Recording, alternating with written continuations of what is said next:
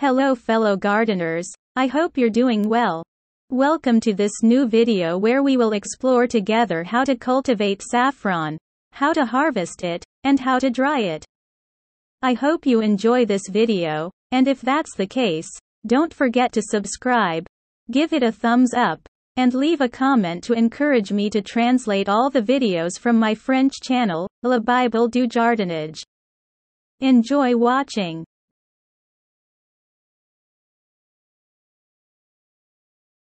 One. Presentation Saffron is the powder produced by the stigmas of the saffron crocus, Crocus sativus. It's a plant that belongs to the iris family. It comes in the form of a small autumn bulb, about 6 inches tall, which will produce purple flowers around the month of October. You can get these bulbs from August onwards at garden centers or by mail order. Before you dive in, be aware that if saffron is so expensive in the market, there's a reason for it. Indeed, to obtain 0.035 ounces of saffron, you will need to harvest approximately 150 flowers. The cultivation itself is no more complicated than any other flower, but where it becomes tedious is when you have to harvest the stigmas and dry them.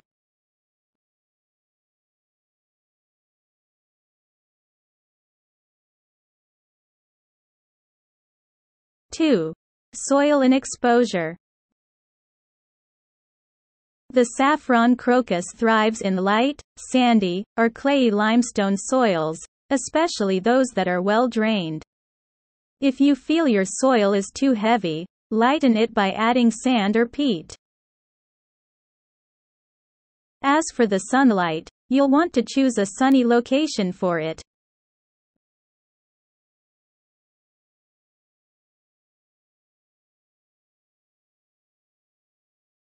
Three. Planting Planting should be done from July to mid-September for blooming in October, starting in the first year if your bulbs are large enough.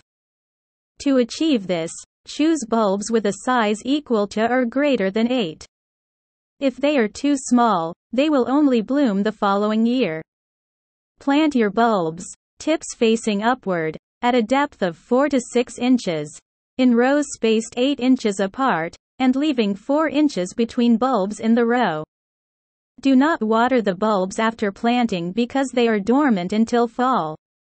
In a temperate climate, watering is generally unnecessary for this plant, but you can still water in September in case of drought.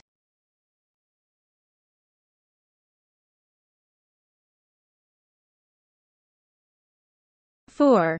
Maintenance and care. Weed your planting regularly to achieve optimal production. Regularly eliminate the burrows of mice and voles that will enjoy your bulbs year round.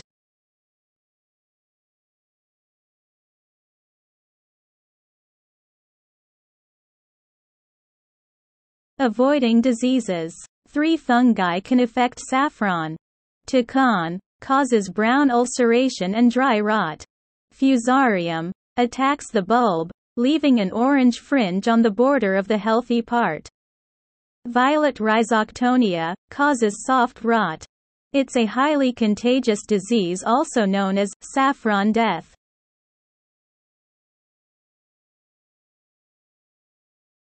All these diseases are resistant to most fungicides, however, they typically only appear from the third or fourth year.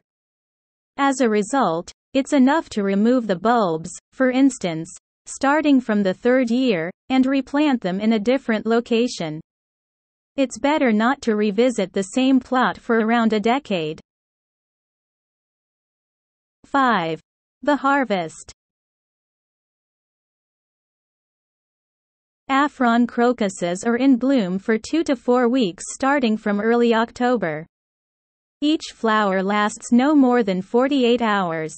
To preserve all the qualities of saffron, it is necessary to harvest the newly opened flowers or their stigmas daily, early in the morning. The flowers typically appear in early October, later in the first year, with the blooming period extending over a month.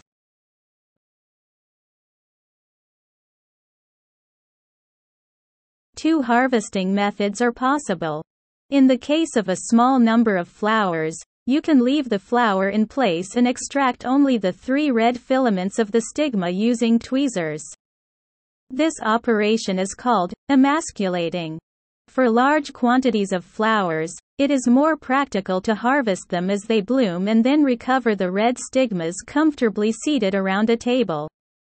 In this latter case, for emasculation, you can use either your nails or small tools such as scissors, tweezers, forceps, etc. Emasculation should be done right after picking the flowers to make this process easier. The yellow stamens and purple petals have no use. Important. After flowering, do not cut the plant's leaves. Their presence is necessary for the bulb to regenerate and produce bulblets. 6. Drying. Tea is necessary to dry the filaments to be able to preserve them. Drying can be done by placing the stigmas on a sieve in a well-ventilated environment at temperatures between 104 to 140 degrees Fahrenheit, for about 15 minutes.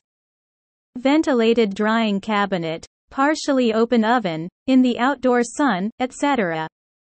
After drying, the filaments are very light and brittle. Fresh saffron, even when dried, has very little flavor.